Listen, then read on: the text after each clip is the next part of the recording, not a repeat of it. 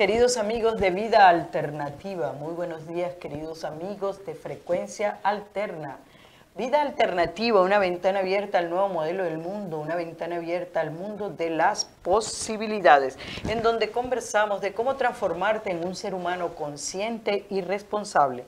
Si quieres tomar parte de esto llamado el nuevo modelo del mundo, necesitas cambiar tu vieja y obsoleta forma de pensar. Eso es vida alternativa, un cambio en los nuevos paradigmas, hacia los nuevos paradigmas. Vida alternativa. Hoy tenemos de un invitado sumamente especial y es Irela Galaviz. Muy buenos días, Irela. Muy buenos días, un ¿Cómo? placer. ¿Cómo, cómo estás? Súper bien, bendecida de estar aquí contigo esta mañana. Es un buen día, un excelente día para evolucionar juntos, un buen día para transformarnos. Para crear. para crear el ser humano que nosotros somos. Muy buenos días, Franco. Gracias por estar siempre dirigiendo el programa e incentivándonos para mejorar, cada vez mejorarnos. Muchas gracias, Franco. Buenos días. Vida Alternativa llega a ustedes por una cortesía de Quantum Emotional Crossover Seminario, el poder de la transformación emocional, espiritual y física al alcance de tu mano, en donde te ofrecemos novedosas técnicas y herramientas utilizadas en la transformación personal, sintonizando tu cuerpo, tu mente, tu espíritu y tus emociones. Dirigido por quien les habla, Luli González, consultora en técnicas de transformación personal, emocional, espiritual y física, psicoterapeuta especialista en la física cuántica aplicada a la transformación personal. Si estás interesado, llámanos al 602-696-8426. 602-696-8426. Toma acción, llámame. Más allá del coaching. También llega a ustedes Vida Alternativa por una cortesía de la Pasadita Hot Dog. Disfruta del sabor original de Sonora en la Pasadita Hot Dog. Un pedacito de tu tierra aquí en Phoenix, con siete localidades en el Valle del Sol. Tradición y servicio para toda la familia. Los hot dogs de la pasadita son ricos, frescos y nutritivos. Visítanos. En estos momentos tenemos también otras opciones. El hot dog de, la pasadita es extraordinario, pero si un día no quieres solamente el hot dog, también tienes el caldo de queso, el caldo, la sopa de tortilla y otras especialidades también muy ricas. El caldo de queso está estupendo, yo lo probé y realmente muy bueno. Acuérdate entonces, la pasadita hot dogs, el sabor de Sonora y los primeros, fueron los primeros, son los pioneros en traerlos hot aquí al Valle de Phoenix, calidad y servicio y el más antiguo de Phoenix.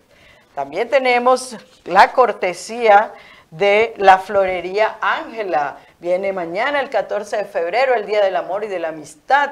Qué magnífico, podría ser un regalo, ¿verdad? De flores, unas hermosas flores rojas, un arreglo de la Florería Ángela. La Florería Ángela está ubicada en la Plaza Cora, en el 3038 West Van Buren, Phoenix, Arizona 85009. Exclusivos arreglos, creativos arreglos para quinceañeras, bodas y esas ocasiones especiales. Mañana es una ocasión especial, Día del Amor y de la Amistad. Para hacer pedidos, llama al 602-415-0781. También la ocasión del Día de los Enamorados, si quieres sacarte el, el 20, puedes comprar una hermosa joya en la joyería Díaz, en donde están especializados y las joyas están garantizadas de por vida. Joyas de, 10, de 14 y 10 quilates y un exclusivo taller de reparación. Joyería Díaz con más de 25 años de experiencia en el mercado de la joyería en el área de Phoenix.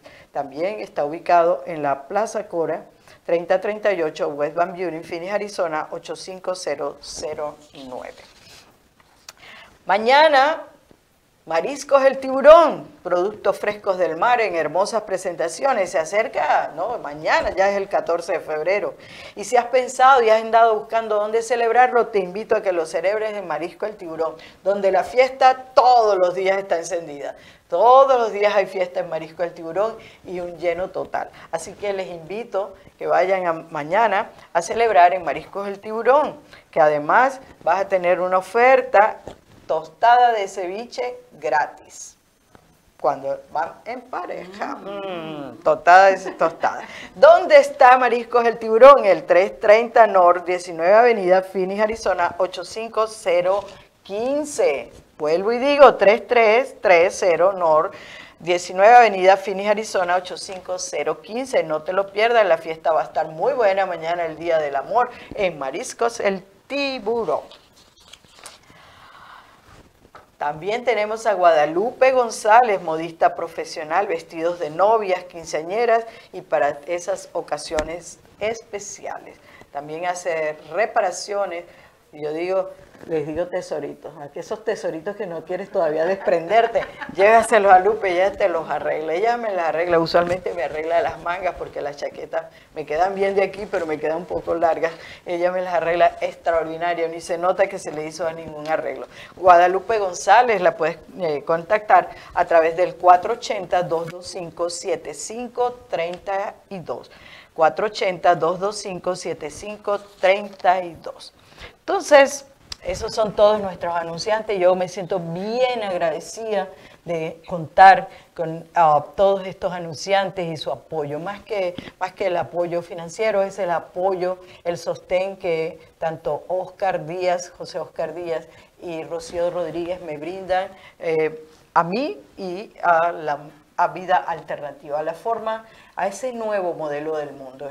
Ellos me acompañan en eso y por eso pues sostienen este programa. Muchas gracias a, José Oscar Díaz y a Rocío Rodríguez por su aporte y por supuesto a Guadalupe González. Ya, listo. Feliz de tener tantos anunciantes. Mm, feliz. Eh, hoy tenemos de eh, compañía, no me acompaña este el día de hoy, este hermoso día, eh, Irela Galaviz. Irela Galaviz, muy conocida aquí en el Valle de Finis, muy reconocida también. Y la pregunta para Irela, ella me va a acompañar, vamos a hablar acerca de el viaje de la pena. El viaje de la pena, el sentimiento de pena y el viaje llamado duelo, el duelo. Entonces Irela nos va a acompañar el día de hoy, pero yo le voy a preguntar antes que nada, ¿quién es Irela Galaviz? me hizo esa pregunta antes que estuviéramos en el aire. Y, me gusta decir me gusta decir que Irela es una mujer echada para adelante, es una mujer fuerte, es una mujer de fe, es una mujer emprendedora, me gusta mucho crear. Y, me, da, me da mucha gracia porque cuando me hablan para hacer alguna entrevista o hacer algo, me dicen, ¿cómo quieres que te presente? Preséntame como Irela. Pero se refieren a todo lo que he estudiado. He estudiado ontología, he estudiado liderazgo con el señor John Maxwell, He estudiado eh, programas de, liderazgo aquí en el Valle, he estudiado en México. Eh, tras la pérdida de mi hijo estudié tanatología, he estudiado uh, neurolingüística. Próximamente, este próximo viernes entro a, a otro programa de neurolingüística. Y pero más que lo que he hecho, ¿quién he sido? Eso ha sido una mujer, una mujer, soy una mujer muy feliz, una mujer muy fuerte, entonces esa es Irela. Esa es Irela Galavice, que me acompaña. los que no saben. muy pocos que no saben, pero eh, Irela me acompaña el día de hoy para hablar acerca del el duelo. El duelo, esa experiencia que toca nuestras emociones y se manifiesta de infinitas formas. Es una respuesta natural a la pérdida de una persona, de una relación, de una condición de vida, un estatus social, parte de sí mismo o de cualquier aspecto de nuestra vida que implique pérdida y que tiene un valor significativo esa pérdida.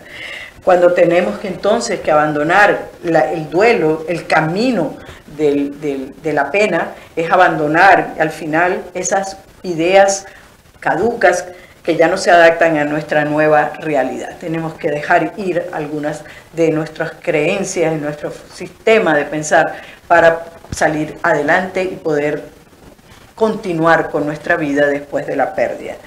En mi vida, como en la vida de todos los seres humanos, han habido muchas pérdidas importantes. Me ha tocado cambiar abruptamente de, mi país, ¿verdad? Eh, también de profesión. Durante un tiempo, tuve que cambiar eh, cuando al salir del país, ser traicionado, ser abandonado por una relación de una relación fallida, un divorcio, separarme de familiares, amigos, sin contar con la pérdida de numerosos otros seres queridos, pues mis padres eh, estando viviendo ya aquí, personas y mascotas también. Todo eso es parte del duelo y no es que uno es más profundo que el otro, por supuesto, no puede equipararse como vive una madre que ha perdido a su hijo a la pérdida de una mascota, pero lo que quiero decir es que el duelo siempre está en cuando por el sentimiento de pérdida y es, pena. El sentimiento desde el punto de vista ah, nuestro psicológico es la pena el viaje de la pena. Entonces vamos a hablar un poco acerca del el viaje de la pena y el camino que es el duelo. Ah, después de elaborar todas estas ah, pérdidas que has, vivido, eh, ¿cuáles certezas pudieras decirme acerca de, tu, de tu camino, de tu transitar? No sé si quieres poner en autos a las personas acerca de lo que... Sí, eh, primeramente para las personas que, no me conocen, eh, recientemente acabo de perder a uno de mis hijos, lo perdí de cáncer el 7 de mayo. Eh, viví el duelo, el duelo lo viví, un, duelo horrible, lo viví sola, encerrada. estuve en mi casa sin querer mirar a nadie, hablar con nadie, ni recibir a nadie. Eh, viviendo el duelo emocional, el duelo, ese duelo espiritual, ese duelo donde tu mente no alcanza a razonar, solamente a sentir. solamente sentir, sentir. Es tanto el dolor que solamente podía sentir, sentir tristeza, sentir muchas ganas de nada, ganas de dormir, ganas de estar en casa, ganas de gritar, ganas de llorar y alguien me dijo, yo nunca había escuchado de tanatología. Entonces, en vez de agarrar ah, clases con una, de hecho tuve una sesión con una tanatóloga, elegí estudiar tanatología, irme a la raíz, comprender y para poder entender mi duelo, entender mi proceso desde, desde la negación, desde la ira, desde la aceptación y comprender que aunque son cinco pasos, aunque hay, momentos emocionales que estás en el segundo, en el tercer paso, pero hay quiebres emocionales que yo les, yo les, hablo, los menciono como el ancla. Eh, de repente durante tu duelo vas desarrollando anclas que te llevan al primer, al paso número uno. Ejemplo, ah, mi hijo tiene nueve meses que murió y solamente dos veces he ido al panteón, porque las dos veces que he ido siento un retroceso, siento que eso es un ancla para poder seguir avanzando. Entonces, poderme descubrir durante mi duelo qué es lo que me funciona para seguir avanzando mi duelo, eh, seguir viviendo la vida eh, de la mejor manera que es posible, aún con el duelo que tengo. Eh, entonces, ir descubriendo las anclas. Eh, eso es una de las cosas que, he descubierto. el, duelo genera cambios profundos en nuestra vida. podemos sentirnos confundidos, ansiosos, llenos de dudas eh, acerca de sobre lo que nos está pasando. ¿Qué debemos hacer para aliviar el dolor que experimentamos y cómo podemos finalizarlo en el menor tiempo posible? Digamos, ese es el, el anhelo de la persona que está sumergida en la pena eh, se hace esa pregunta, ¿qué puedo hacer para aliviar lo que yo estoy sintiendo? Y usualmente van hacia la negación de lo que están sintiendo, es un error. Eh, y ya vamos a hablar acerca de las diferentes etapas del duelo y, cuáles, y cómo tienen que vivirse. Pero negar que estamos sufriendo, negar y ocultar la pena, a la larga están las estadísticas muy claras y científicamente comprobadas que no podemos decir que hemos sanado Ah, eh, totalmente el duelo, eh, solamente tratando de abordarlo desde una manera mental, porque el cuerpo grita. Entonces, si no vives el duelo y no te, no, no transcurres por todas las etapas que tienes que vivir. Es decir, el duelo no es elaborado psicológicamente, emocionalmente, pues en dos años, tres, cuatro años va a surgir ah, la enfermedad o la depresión y la depresión te puede llevar pues también a, la muerte, a cometer suicidio, etcétera, etcétera. Porque al final de cuentas es así. Eh, la persona por la pena se lo va consumiendo, ¿no? Entonces, perdón, perdona que te interrumpa. o sea, sentimos que, que, nuestro mundo está totalmente al revés. ¿Qué puedes decir en, acerca de tu experiencia en lo que se refiere a las emociones? sensible totalmente, totalmente eh, ah, emocionalmente inestable. puede, puede, ah, hay días de que me siento muy bien, muy fuerte, muy positiva, pero otros días no. Y es descubrir lo que mencionaba hace un momento, eh, que, en qué anclo, en qué, en qué emoción anclo el, proceso que me impide este día vivir excelentemente bien. Ejemplo, eh, eh, al inicio era mirar las fotos de mi hijo y, y videos de mi hijo. Era algo insoportable el, el, hecho de encontrarme una foto de él era retroceder el proceso. Entonces ir descubriendo durante mi duelo que me retrocede y que me avanza. Y ahorita que mencionabas de lo del cuerpo, que el cuerpo responde y efectivamente soy una persona totalmente sana, llegué a ir a, a, mirar al, al, al doctor porque sabes qué, me siento así, siento esto, siento, o sea, cómo yo me sentía y el doctor me dio antidepresivos, me dio, me dijo que estaba mal de la tiroides, me dijo que tenía alta baja presión eh, y como cuatro cosas más. Agarré la receta, me dio ahí mismo un medicamento, llegué a mi casa y lo boté y dije, yo tengo que permitirme todo permitirme gritar, permitirme llorar, yo tengo que, yo no soy enferma, yo soy una persona totalmente sana. Al día de hoy jamás tomé un medicamento, fue permitirme vivir mi duelo, porque aquí nadie es la mujer maravilla, aquí, aquí no, no es que tanto, que tanto sabes ni cuántos títulos tienes, es, es aprender a vivir el duelo, permitirte vivir el duelo. Sí, transitar por el transitar camino. por el camino. Es un proceso y el proceso se vive como que si fuera un túnel oscuro, cuando estás en la puerta del túnel y ves hacia la oscuridad, porque el mundo está caótico. Cuando hay una pérdida y una pérdida es tan importante, ¿verdad? entramos sin ningún tipo de información, no estamos, muchas personas no están listas, la gran mayoría de las personas. Yo creo que nunca se está lista, no, nunca se está listo para, para afrontar la pérdida de un ser amado, de un ser querido, eh, como un hijo, un padre, no estamos preparados para ello, pero entonces nos entramos a ese túnel sin, sin ningún tipo de experiencia, es algo novedoso. Y una de las características del proceso del duelo es que no solamente estás elaborando el dejar ir y el soltar, no, es que estás reconsiderando tu posición ante la vida, ante la existencia, tu relación con los otros seres humanos. El, el, mundo es caótico y tienes que ir a esa profundidad para poder salir al otro lado. Porque mientras estás transitando en el túnel tienes chispazos de luz. Hay chispazos de luz que te dicen, sí, ahí, allá está la luz al final, ¿verdad? Pero mientras lo estás transitando, pues es la noche oscura del alma, así, El, el, viaje de la, de la pena. Entonces, mm, no solamente requieres desarrollar la capacidad de soltar y dejar ir, sino que tienes que reconsiderar el modelo del mundo donde te has estado moviendo. Así es. Muy bien. Eh, ¿Cuál ha sido, Irela, el aprendizaje a nivel profundo en relación a la vida y la existencia que has sacado de todo este proceso? El, vivir, el vivir intensamente cada día, el, cuando alguien me decía, échale ganas a la vida, o no, ponle ganas, no sé si has escuchado esa frase, échale ganas. Échale ganas. Échale ganas, tú puedes. Encontré que el échale ganas está en, el abrazo de mis hijos, mm. en despertarme las mañanas y recibir un cliente, en, en, realizar todo, todo mi negocio, mis sueños, mis planes, porque déjame decirte que aunque ha sido un proceso muy difícil, no he dejado de trabajar.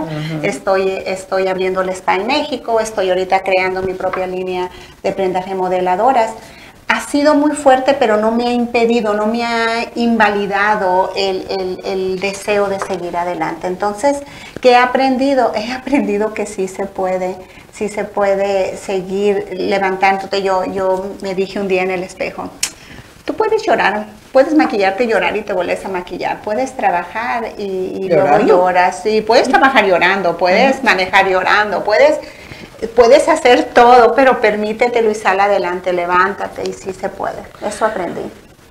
Sí, eh, nuestras emociones están ahí, tienen todo un sentido, nuestras emociones y sentimientos, y el sentido no es precisamente negarlas, es aprender a expresarlas, aprender a lidiar con ellas de una manera que no nos hagamos daño a nosotros mismos ni a los demás. Ni a los demás. Ahí están las emociones y requieren ser expresadas. Y en un momento de duelo, vas a pasearte por todas las emociones, si realmente estás abierto a, vivir el duelo y a llegar al proceso de elaborar tu duelo, vas a pasar por todas las emociones y por todos los sentimientos, absolutamente.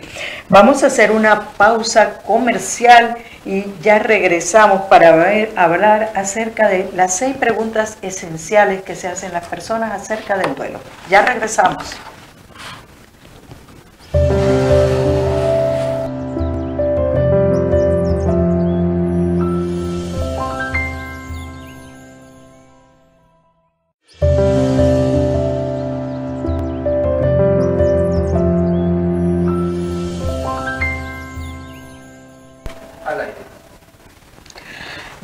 Vida alternativa, ya de regreso en vida alternativa, una ventana abierta al nuevo modelo del mundo, una ventana abierta al mundo de las posibilidades, conversando hoy acerca del el viaje de la pena, el duelo, el duelo, el viaje de la pena. Ah, estamos conversando con Irela Galaviz, a quienes nos están sintonizando ahorita, eh, acerca de el duelo y su experiencia, cuál ha sido su experiencia en eh, estos nueve meses, la pérdida de Allen. Nos quedamos en que las, cuáles las seis preguntas esenciales que se hace una persona cuando está en el proceso de duelo. Una de las preguntas más importantes es cuánto tiempo me sentiré así triste, devastado tras una pérdida. ¿Cuál es tu opinión? No hay tiempo, no hay, no hay, cada persona es individual, cada persona lo, lo, lo, va a vivir individual, puede, y no hay tiempo, desde mi experiencia no hay como en un año o en seis meses, no hay. Eh, te comentaba que eh, nosotros acabamos de sepultar a una tía, hace ella el duelo, lo soportó un año, no supo manejarlo y tras la muerte de su hijo al año la sepultamos. Entonces, tras la depresión de la pérdida del hijo, en mi experiencia no hay tiempo. Eh, el día que tú y yo nos miramos, me preguntaste que si estaba lista. Cuando te respondí sí, sí estoy lista para hablar del duelo, lo sentí en mi alma que estaba lista. Anteriormente ya nos habíamos visto y jamás voy a compartir algo que no es verdad, jamás voy a compartir y decirte algo que no es verdad, porque no estaba lista, todavía estaba en que si veía una foto de Ale me dolía, en que si veía un video me dolía, y hoy no, hoy puedo mirar fotos, mirar, ayer estuve mirando eh, videos de él donde me dice tantas cosas, entonces ya desde la gratitud, pero llegar ahí fue un duelo de nueve, en mi caso nueve meses, en poder mirar con gratitud ese ser maravilloso que, tuve el placer de ser su mamá y, poderle agradecer.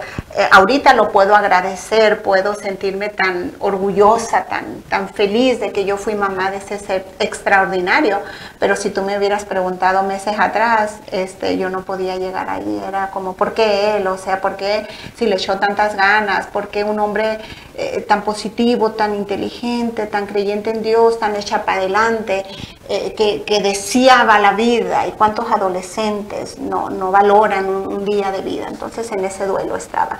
Sí, la gran mayoría de las personas piensan que los duelos deben terminar en unos pocos días y eso no es cierto. Por eso pretenden negarlo, llegan a la negación del sentimiento y al final pues terminan enfermos o pues en casos extremos pues la persona en una depresión realmente fuerte. Eh, algunas de mis experiencias acerca del duelo de viviendo mis propios duelos, pues algunas personas dicen, pero ¿cómo? Si tú eres psicoterapeuta. Precisamente porque soy psicoterapeuta, me tomo el tiempo que necesite para vivir mis pérdidas y eh, procesar mi duelo y poder al final, porque esa es la, la verdad, por ejemplo, con mi padre, yo lloré a mi padre durante mucho tiempo, todos los días. Y cuando no tenía, volvía a buscar, yo sí veía lo que a él me lo recordaba, escuchaba la música para salir y sanar el duelo, sacar todas las emociones que pudieran quedarse atrapadas o sepultadas en mi cuerpo y procesar. Hoy en día puedo hablar de mi padre con amor, con gratitud y sin dolor, porque eso es cuando tú elaboras bien el duelo y llegas al otro lado del túnel oscuro, puedes hablar de la persona o de la situación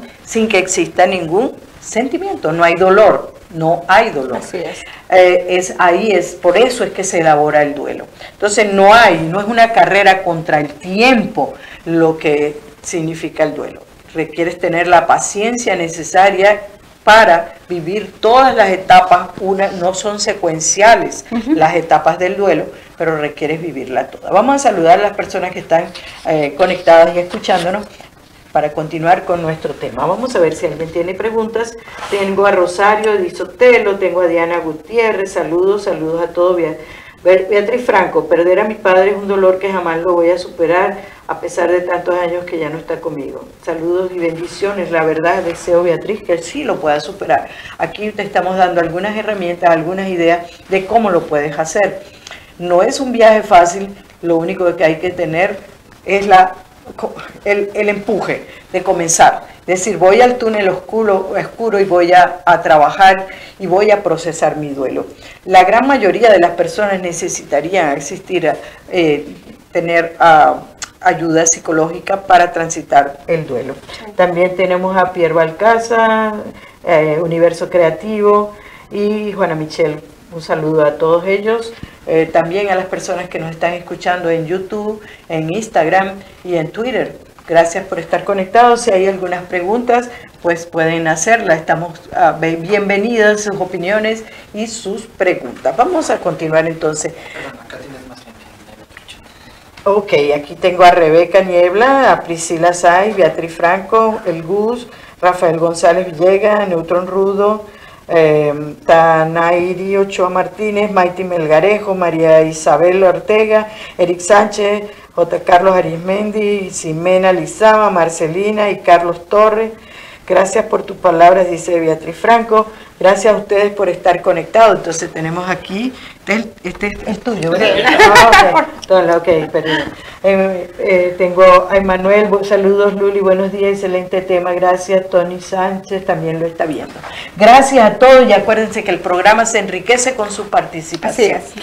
Mm, entonces, estamos hablando acerca del tiempo. No hay un proceso de duelo bien elaborado, bien elaborado, tarda entre dos y tres años dos y tres años, bien elaborado.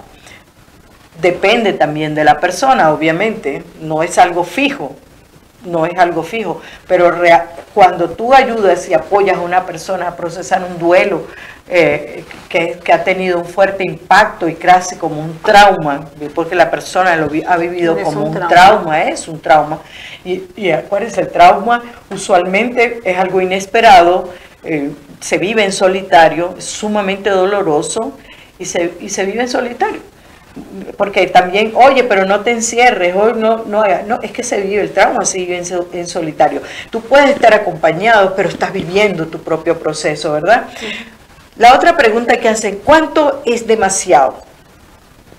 Se habla del duelo como un proceso lleno de emociones, pero cuando una emoción está desbordada. ¿Qué piensas acerca de ello?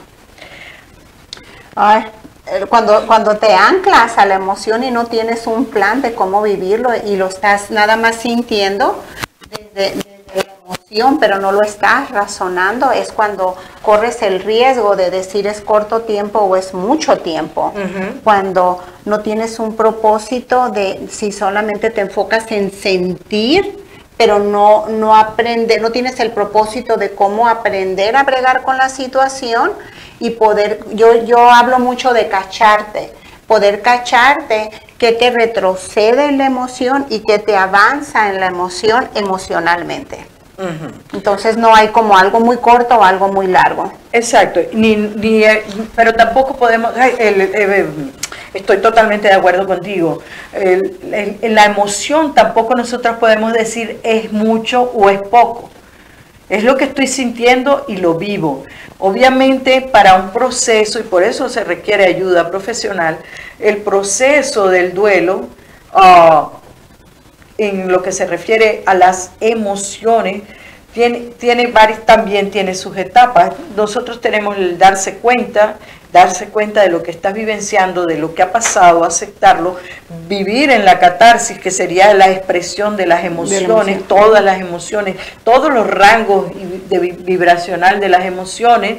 Luego llega entonces la, etapa de darte cuenta de lo que, ha, lo que ha sucedido y empezar a elaborarlo, lo que ha sucedido. Puede haber retroceso, vas a volver otra vez a la catarsis, vas a volver a darte cuenta. Es todo un proceso que no puede ser presionado ni es una carrera contra el tiempo para lograr superarlo. Ya el hecho de querer superarlo lo atrasa. Solamente necesitas vivirlo y elaborarlo. Vivirlo y elaborarlo. Ok, entonces, otras personas hablan acerca de el llorar, tienen ah, juicios en relación a llorar y juicios en relación a sus emociones, calificando, que es una, cuando ustedes escuchen a alguien hablando de emociones negativas y positivas, hagan una interrogante, porque no existen emociones negativas, no existen emociones positivas, lo único que existe son emociones, y sentimientos, y las emociones y sentimientos tal como la palabra, si buscamos el origen de la palabra, significa sangre en acción, es decir, expresión vivirlas, sumergirse en ella y expresarlas. Lo que hay es que aprender a expresarlas. Las emociones no son negativas ni son positivas, así que requieres es expresar, aprenderla a expresar. Lo que podría ser negativo o positivo es la manera como tú expresas las emociones. Si eres desbordado emocionalmente y empiezas a maltratar a otro, ya eso no podemos decir que la emoción es negativa, es que como aprendiste a expresarla, está de manera errada. Entonces, aquí, ¿qué piensas tú en acerca del llorar? El llorar no quiere, no está no es directamente proporcional o inversamente proporcional, mejor dicho, inversamente proporcional a la fuerza de carácter. ¿Qué piensas? Ah, yo digo, si vas a llorar, chíllele, no le sollose. Chíllele y sáquelo. Vaya hasta lo, más. Sí, o sea, porque el, el, sollozar es, es, es sujetar, es detener la emoción. Si sientes el dolor, sácalo, sácalo y llóralo y grítalo, pero levántate. Pero levántate, no es negociable no levantarte. Exactamente, no está incluido. En el proceso de, elaboración del duelo no está incluido el quedarte tirado en el piso, no, no, para nada.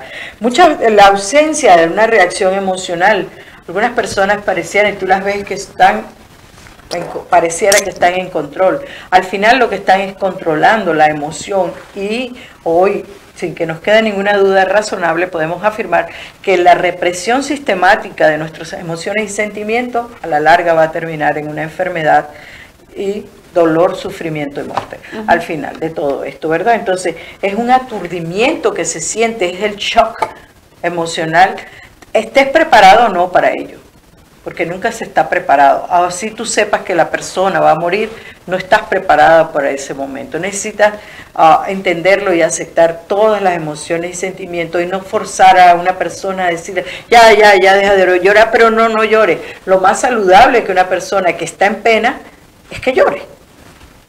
Totalmente. Entonces, ¿por qué? ¿Sabes qué? Porque al final terminas, si estás en negación, vas a terminar es proyectando lo que no tienes resuelto allá afuera. Y vas a crear una y otra vez situaciones en donde tengas que vivir la pena y el duelo. Y no solamente en la pérdida de alguna persona, pero sí en pérdidas materiales o, amistades o en otras áreas, ¿verdad?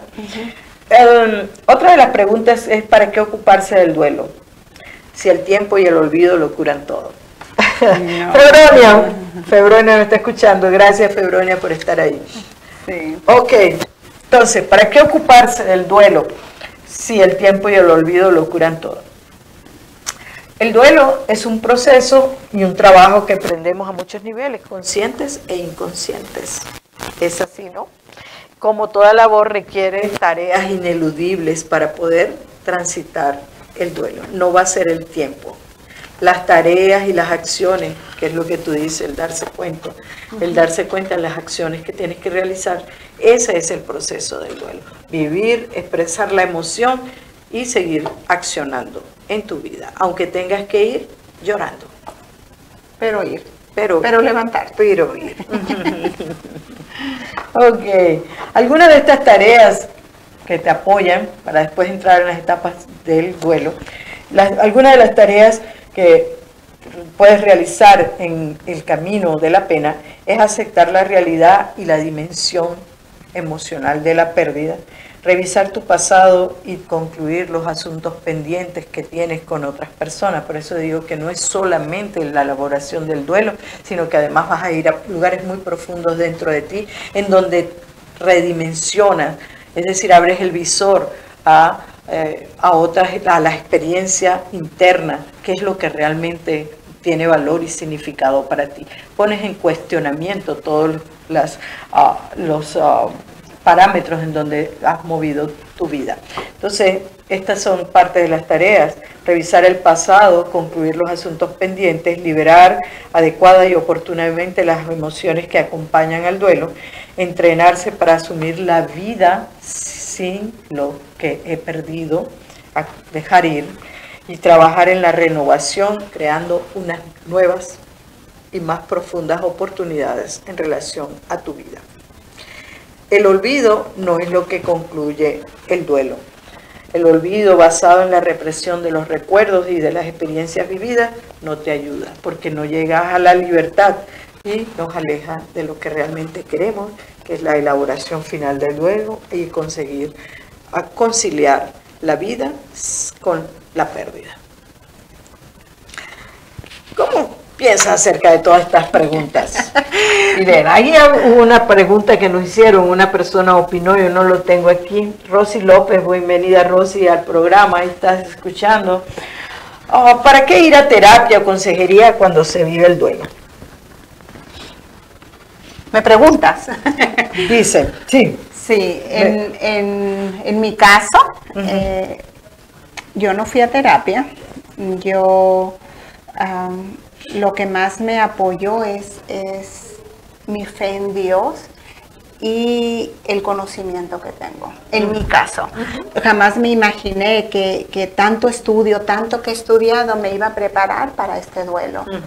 Y lo que he aprendido es a tener compasión aún más por las personas que, enfrentan duelos, porque yo me, yo me pongo a pensar, si yo que estoy tan preparada, se me ha hecho, se me hizo tan difícil. No puedo sentir en mi carne lo que puede ser para alguien que no tiene la preparación. Tú lo mencionabas hace un momento, o sea, yo soy, psicóloga, pero yo me permití tres años llorarle a mi padre, o sea, y, eh, los duelos no se tratan de cuánto sabes, ah, para, nada. de cuánto sabes, sino aprender a dirigir el duelo. ¿Hacia dónde voy? Hacia dónde voy y eso, eso es lo que yo pienso. El tener un hacia dónde voy es la parte más importante. ¿A dónde te lleva? E, este, este proceso me lleva hacia allá. Yo tengo muy claro hacia dónde voy a ir. Y es poder elaborar el duelo. ¿Cómo? Con mi vida, porque ha sido parte de mi vida y yo sigo y tengo una vida. He perdido algo, pero no he perdido la vida. La vida. Tengo una vida. De hecho, lo llegué a considerar. Si, si me llego a cachar que esta situación se me está yendo de las manos, de hecho, le prometí a mi familia, les prometo que voy a agarrar ayuda. Si se me va de las manos, voy a agarrar ayuda. Y la invitación para las personas que nos están mirando es que se hagan desde su autoobservador si la situación de tu duelo en este momento es algo que estás sabiendo manejar, que no te está impidiendo eh, no está afectando tu salud, no te está impidiendo tus actividades diarias, no te está impidiendo el interactuar con la gente que te rodea, entonces estás aprendiendo. Pero ya una vez la depresión no me deja ir a trabajar, la depresión no me deja levantarte, entonces ya es una alerta roja, hay que buscar ayuda, entonces hay que ser realista, la situación se te fue de las manos, entonces hay que buscar ayuda. Sí. El trabajo de duelo más efectivo que se hace con la asistencia profesional adecuada. Hay casos de casos. Yo no fui, los duelos más importantes que he tenido, que ha sido mi abuela viviendo aquí, porque no solamente se, se eh, vives el duelo de la pérdida, sino que no puedes ir allá, no puedes tener los abrazos de la familia, que puedes es como sientes la empatía, que ellos están sintiendo más o menos lo mismo que tú estás sintiendo con la pérdida tener eso, eh, la, pérdida de mi padre y la pérdida de mi madre, con las mismas condiciones. Entonces, ah, yo, no usé, tengo herramientas, esa es la diferencia, yo tengo herramientas suficientes, que es tu mismo caso, tener herramientas para transitar el duelo y poder hacerlo. Ah, también tenemos que tomar en cuenta que las consecuencias de un duelo no bien elaborado va a presentarse dos, tres, cuatro años más adelante de la pérdida de haber sufrido la pérdida. Entonces es necesario revisarse bien y ser honesto de cómo el sistema de creencias pudiera estar impidiendo que recibas la ayuda adecuada para superar y elaborar el duelo y llegar al final del camino, ah, digamos, que sería poder hablar, recordar, tener a la persona contigo, pero sin dolor. Sin dolor. Esa es la meta. Esa es la meta. Es la meta, exactamente. Entonces, las cinco etapas del duelo. Aquí tengo a Melita. Hola, Lule. Excelente tu información. Gracias. Saludos y recibe muchas bendiciones. Gracias, Melita. Allá en Venezuela, mi corazón está con ustedes, con mi corazón y mi cuerpo está allá con ustedes. gracias por, escucharme. Um, las cinco etapas del duelo. ¿Cómo estamos en el tiempo? Estamos en el tiempo. Vamos a ir a una pausa comercial y ya vamos a, a regresar para ir cerrando el programa con las etapas del duelo. Ya regresamos.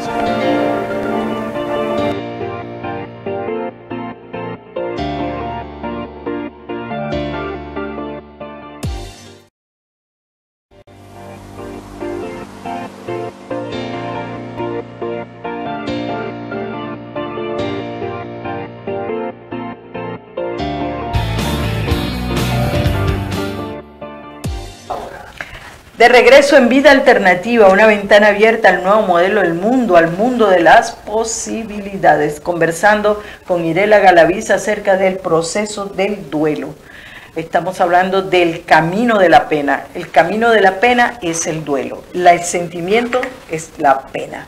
Y ese sentimiento requerimos vivirlo en toda su profundidad y expresando las emociones que con ellas vienen. Entonces, hablamos acerca de las cinco etapas del duelo. La, negación, la ira, la negociación, la depresión y la aceptación es el recorrido que se transita para sanar la pérdida de un ser querido, según Elizabeth Kluber-Ross, quien es especialista en todo lo que es elaboración del duelo. Eh, psiquiatra de aquí de Fines, ella, muy conocida a nivel mundial eh, en trabajar con el duelo. Eso es lo que ella ha determinado como etapas del duelo, negación, ira, negociación, depresión y aceptación. Estas etapas, como lo hemos, eh, hemos venido conversando, no se suceden en orden, sino que vamos y venimos de ellas hasta finalmente aceptar que hemos concluido el duelo. ¿Cuándo? Cuando podemos hablar y acercarnos a, la persona sin dolor. Ver la muerte con toda la magnitud y lo que ella significa. Y la clave de estas etapas es comprender cómo se produce este proceso de duelo y en qué etapa se encuentra cada persona. ¿En qué etapa te encuentras? Aceptación. Mm. Sin duda alguna. Cuando, cuando empecé a estudiar tanatología y que hablaban del proceso, me, pude ver exactamente como lo mencionas, no es que primero la etapa 1, luego la etapa 2, perdón, sino que eh, de repente estoy en la ira, mucha ira, eh, y de repente en la negociación, y de repente otra vez en la negación, y fue como, como, como una, una mezcla de emociones, de sentimientos, hasta que llegué a la aceptación. Una de las cosas que me llevó a llegar a la aceptación es ponerme a crear algo eh, durante ese tiempo a mí en el nombre de mi hijo. Ah, hay un libro muy bueno que, me lo regalaron que se llama eh, El hombre del cielo y la tierra. Eh, y ese, ese, libro para mí cambió, de tantos libros que, he leído, ese libro cambió mi manera de cómo recibir el, duelo. Para recibir el duelo, pues hay que aceptar el duelo. Entonces fue eso, el, crear, el crear algo en honor a mi hijo. Ahora sí te puedo decir que en total aceptación pero me llevó nueve meses, Luli, nueve meses a aceptar esa parte que, me tocó vivir. Y otra cosa que entendí, que ya había vivido anteriormente duelos. Eh, ya había vivido la, muerte de mi hermana, la muerte de, de mi madre, el perder mi matrimonio, el perder toda mi economía cuando nos tocó el economy crash, que toda la economía. Entonces la gente de repente dice, pero es que no es lo mismo perder todo tu dinero a perder un hijo, o perder a tu esposo y perder a un hijo. Exactamente, estoy totalmente de acuerdo, no es lo mismo, pero en cuestión de duelos, ¿cuántas personas pierden las ganas de vivir porque perdieron el matrimonio. No supieron manejar el duelo. ¿Cuántas personas hemos escuchado que han terminado suicidándose porque no soportaron el perder todo el dinero que tenían? Entonces ese es, es la pérdida, es el duelo. Que, que, mi dolor no es menos ni es mayor que el tuyo, es mi duelo, es mi dolor. La diferencia entre el tuyo y el mío es cómo vamos a manejar nuestra pena, nuestro dolor. Esa es la única diferencia. ¿Cómo vamos a abordarlo? ¿Cómo vamos a abordarlo? Exactamente. Así es, es la diferencia, pero no hay un medidor de cuánta pena tienes que, expresar o cuánta pena no debes expresar. Así es. Eso es tratar de controlar el proceso y la verdad es que el proceso de duelo no lo puedes controlar, solamente puedes vivirlo. Vivirlo. Vivirlo. La etapa de la negación es cuando la persona pues fallece y es un rechazo consciente o inconsciente en la fase de la negación, que es eh, negar lo que estás viviendo, negar lo que estás sintiendo también. Es un mecanismo de defensa de la psique humana. Es totalmente válido que puedas atravesar esa etapa de la negación, porque es un mecanismo de, defensa. El, para, mm, el, el mecanismo de defensa de la psique es para amortiguar el trauma que significa perder a alguien amado o cualquiera de las situaciones de pérdida. Estamos claros que a lo mejor yo no, yo no he perdido un hijo, pero he perdido a mi padre, he perdido a mi madre. No, no puedo decir que el mío es más grande o menos grande que el perder a un hijo. No, porque ni me invalida para hablar de eso porque yo no he perdido un hijo. Todo lo contrario, lo puedo ver desde una perspectiva diferente. La negación lo que quiero que se entienda es que la negación es un proceso natural y deseable que suceda para amortiguar el impacto de perder a alguien que tú has algo, alguien, algo o situación que has amado o has tenido. Estamos, no estamos preparados para soportar tanto dolor de una sola vez. Entonces viene la, el, cuerpo, en la bioquímica del cuerpo, se segrega una especie de cannabis para amortiguar y el impacto. Y ah, llegar a, no, o no, esto no me está pasando a mí. Esa es la etapa de, esto no está pasando a mí. Incluso ah, en esa etapa de la negación, ya yo viviendo aquí, mi padre me llamaba cada, cada 15 días y yo todavía, a pesar que sabía, entendía que él estaba muerto, yo me cachaba a mí misma esperando que sonara el teléfono y fuera él. Esa es la etapa de la negación. Sí, es la etapa de la negación. perdón, ahorita que tú mencionas eso, recuerdo que Allen tenía unos dos meses que ya, ya había muerto, cuando le mandé un texto como se los mandaba todos los días. Hola, mi amor, espero, espero estés bien, te amo. Eh, nos hablábamos muy, con una manera muy especial. Entonces, te amo, besos, este, lo que le puse. Y cuando se lo mandé, dije, ubícate, ubícate porque ella se murió. Él donde está, ni recibe textos, ni llamadas, ubícate, este te tocó y aprende a manejarlo, apréndelo. Él no recibe texto. Entonces suelto el teléfono, pero primero me di coaching. ¿A dónde quieres llegar? ¿Te quieres volver loca? Manda textos. Mándale. ¿Qué vas a esperar que te conteste? No te va a contestar. Entonces me, me, di muy duro, solté desde la parte del coaching y desde la parte de la mamá de... o sea, de llorarlo, de llorarlo. Sí, pero fíjense.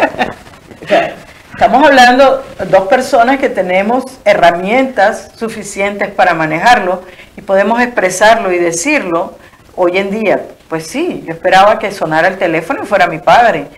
Por supuesto, sabía que no era así, pero había algo todavía. Que, y esa es la etapa de la negación, o sea, el, tener que entender y vivir el hecho de que nunca más iba a sonar el teléfono uh. es duro, es muy duro. Nunca más voy a mandarle un, un, texto en, la mañana para desearle buenos días. Es duro, pero pasa. El, el, criticarme por ello no tiene ningún sentido. Es ubicarme. Ubicarme. Eh, no va a volver a pasar eso. Eso no va a suceder. Pero lo que quiero decirles es que la etapa de la negación es parte del proceso y es un proceso para, de la psique, un mecanismo de defensa de la psique para que tú puedas seguir funcionando. Después vamos a, porque el tiempo nos apremia, ¿verdad? La negación, después vamos a la etapa de la ira, la rabia, el coraje, cuando ya no es posible y seguir ocultándonos y engañándonos con mensajes de texto, con llamadas de teléfono, cuando ya no tenemos que enfrentar esa, que eso es lo que está pasando, entonces viene la rabia, el, el coraje, porque la rabia, acuérdense que la rabia es un sentimiento, pero más abajo está es el dolor, entonces lo disfrazo mi dolor con rabia y ahí lo empiezo. Están presentes en distinta intensidad y va a haber momentos que vas a volver a ella. No es que primero es la negación, la segunda, no, va a llegar y hay momentos en que vas a volver a la ira, a la rabia, a, no aceptarlo, que sería entonces la negación, y ahí te vas a mover. Hay que tener una enorme paciencia y un profundo amor por, un, por uno mismo en, esta, en estas etapas. En, en el proceso del duelo, yo pienso, en mi caso, no sé cuál es el tuyo, pero en mi caso, lo que me apoyó fue el profundo amor que yo tengo hacia, hacia mí misma y la paciencia que me tuve para vivir lo que tenía que vivir. Creo que ahí estás. Mencionas algo muy valioso. Me alguien me dijo por ahí, hazlo por tus hijos de salir adelante. recuerdo perfectamente que le dije, no, lo voy a hacer por mí, porque me merezco una vida en excelencia, una vida plena aún con este dolor. Lo voy a hacer por mí. y así. así, así mis hijos pueden tener la mamá que siempre han tenido, la mamá alegre, la mamá no, como consecuencia. Es, es, la consecuencia nada más. Pero por eso les digo, el profundo amor que se tiene hacia uno mismo te va a dar la herramienta que es tenerte paciencia. No criticarte, no reprimirte, no negar, sencillamente aceptar que lo que estás viviendo es un proceso y que tiene todas esas expresiones y que todas son válidas totalmente. Notas, ah, porque usualmente lo que buscamos es consolación, es consuelo. Y el consuelo es de allá afuera para acá adentro. No, el consuelo que vas a obtener al final es de aquí adentro hacia allá afuera no viene de afuera, es de aquí hacia allá, hacia allá afuera. ese consuelo, no es que hay otro lugar, no es que, no, esos son solamente paliativos para no tener que confrontarnos con las emociones bien profundas que requerimos eh, vivir. Tenemos la ira y después vamos entonces a la etapa de la negociación, entonces empezamos a negociar la esperanza de que esto que estamos viviendo se pueda posponer o retrasar la muerte. Esta es la etapa donde negociamos, ¿verdad? Y entonces cuando mm, entramos en conflicto con la existencia, con Dios, con el universo, cualquiera sean sus creencias, vas a entrar en conflicto y vas a preguntar, y vas a clamar, y vas a negar, y vas a dudar. Todo eso es la etapa de la negociación. Es una etapa dura también, porque al final tienes que, te quedas como solo. Porque cuando empiezas a dudar, cuando empiezas a reclamarle a Dios o al universo, o cual sea eh, eh, las creencias que una persona tenga o no tienes, no crees en Dios. Esa es la etapa entonces de, de un enorme vacío y una enorme soledad. Él en la etapa de la, la negociación. Empiezo a negociar con Dios. Recuerdo una, una charla que tuve con él y eso fue en la iglesia, salí de la iglesia eh, cuando estaba en mi duelo, salí muy, muy brava de la iglesia y entendí tras, tras mi duelo que me empiezo a enojar con él. Eh, yo recuerdo que dije, why should I pray? ¿Por qué tengo que orar si al final del día tú vas a hacer lo que tú quieras? Y hablando de lo que tú creas, en quien tú creas, quien sea tu, tu, lo que tú... Tus creencias. Tus creencias que sean. Ah, yo entendí algo. Yo entendí que aquí en la tierra mi hijo era mi hijo aquí en la tierra, pero allá con él era mi hermano, que mi hijo y yo somos hijos de él. Y cuando, cuando yo entendí esa parte, que ante él los dos éramos sus hijos, pero en la tierra él era mi hijo, fue como que, ah, o sea, ¿con qué derecho te reclamo si él es tu hijo, tanto como lo soy yo? Y fue así cuando entra la negociación y de repente como que sí te quito y como que sí te acepto. y me regreso. Sí, y ahí va. Y entonces viene a la etapa de la depresión, la etapa donde no quiero ver a nadie, donde no quiero hablar con nadie, quiero encerrarme y llorar todo el día debajo de las sábanas o encerrado en un closet porque a algunas personas le da por ahí. Entonces, ahí está en la etapa de la depresión. Como les digo, no son etapas secuenciales, voy a vivirlas en distintas orden, Y, y, unas veces van a regresar una u otra eh, en la etapa de la depresión. Hay un gran sentimiento de vacío que deja ese lugar, pareciera como que es que tienes que sacarlo de algún lugar de ti y, y dejarlo. No, yo lo, lo, más importante que quizás vaya por la misma expresión que tú acabas de hacer, es que es aquí adentro donde yo lo tengo, sin dolor. Como lo tengo sin dolor, no me va a enfermar, porque no está el dolor. Pero está conmigo, en cualquier, todas, todas las personas que he amado y que de alguna manera he sufrido la pérdida. La depresión es necesario, cuando estás en la depresión necesitas ayuda profesional, no te olvides, considéralo y después llegamos a la etapa de la aceptación.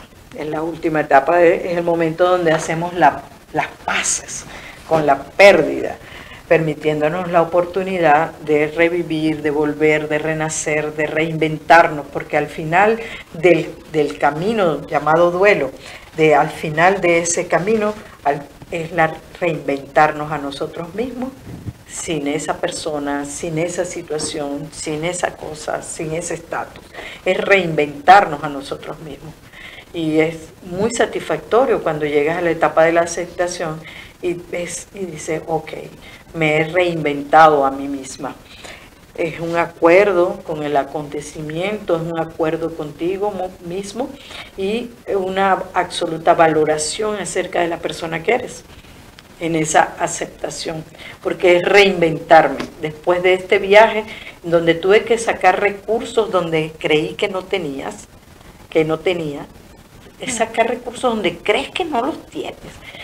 Y ahí, cuando estás bien claro, sí, sí los tengo y los voy a buscar aunque ahorita no los vea, entonces te sientes muy satisfecho en reinventarte a ti mismo. Es la etapa de la aceptación. Ahí, pues, estás tú ahorita en reinventarte a ti misma, ¿verdad? Sin paliativos.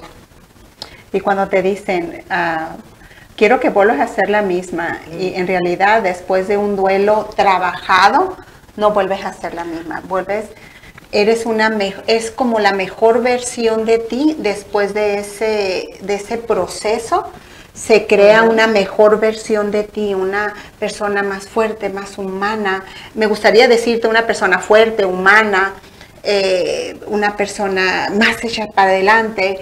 Eh, es la mejor versión de ti después de que aprendes a trabajar el duelo. Sí, yo le, llamo reinventarme a mí mismo eh, en, ese en ese proceso. tenemos el tiempo ya Hemos llegado al final del, programa. Vamos a, ir cerrando. Por supuesto, hay algunas claves que se sugieren para a, afrontar y vivir. Las voy a leer muy rápidamente. No tengas prisa, no te presiones. No hay una fecha límite para finalizar tu duelo. Lo triste es que 20 años después digan, no, yo no, yo ya eso ya yo lo superé y hablas de ello y ¡boom! la emoción explota. Ahí se das cuenta de que no lo elaboraste en su momento el duelo.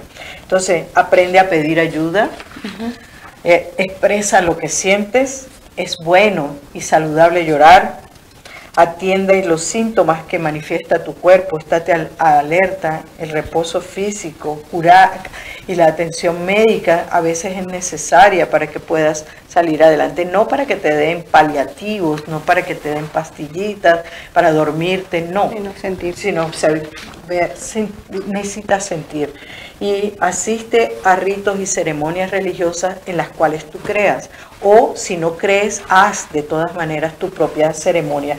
Los seres humanos somos simbólicos, necesitamos los ritos y las ceremonias para ayudarnos a iniciar la elaboración de un cambio en nuestras vidas. Algunas personas cuando se producen cambios, no estamos hablando del duelo, pues se rapan en el cabello y es una forma ritual de enfrentar el cambio al cual vas a estar. Cualquiera sea tu creencia, procura atender los oficios religiosos o crea tu propio ritual. Los funerales y misas en caso de una muerte o actos simbólicos que permitan las despedidas son invaluables porque no solamente sanan nuestros pensamientos, sino también nos sanan a nivel emocional. Entonces, y por último, contáctate con la naturaleza, no dejes de ir a respirar aire fresco en la naturaleza todo esto, no como una forma de evadirte, sino una forma de detenerte a estar dentro y contigo mismo en la naturaleza. Esas son las, las ah, ayudas que puedes manejar. Sigo insistiendo, un proceso eh, de duelo bien elaborado requiere de la ayuda profesional, al menos que tengas suficientes herramientas como para hacerlo, pero seguro que en algún momento vas a necesitar alguien que te recuerde que hacia dónde vas y quién eres tú. Así es. Um, bueno, Irela, hemos llegado ya al final de Vida Alternativa, una ventana abierta al nuevo modelo del mundo. No me queda más que agradecer tu compañía y compartir los micrófonos el día mm, de hoy. Y pues, los micrófonos están a ti para que puedas despedirte. Bueno, muchísimas gracias. Eh, eh, si, eres una persona que en este momento está viviendo un duelo, espero que este programa cambie totalmente el, la manera en la que te estás sintiendo y, que nunca dejes de ver esa luz que está ahí. Eh, te mando un abrazo y nunca dejes de cacharte. Aprende a cacharte en cada proceso de tu vida para que no te quedes anclada. Bendiciones y bonita tarde. Muy bien, entonces esto ha sido Vida Alternativa. Quiero antes de irme saludar a Juan Cervantes, a la Chukis Hello. Muy buena charla nos dice, eh, Febronia Estrada y Elizabeth. Felicidades Luli González por pensar en nosotras para una buena terapia.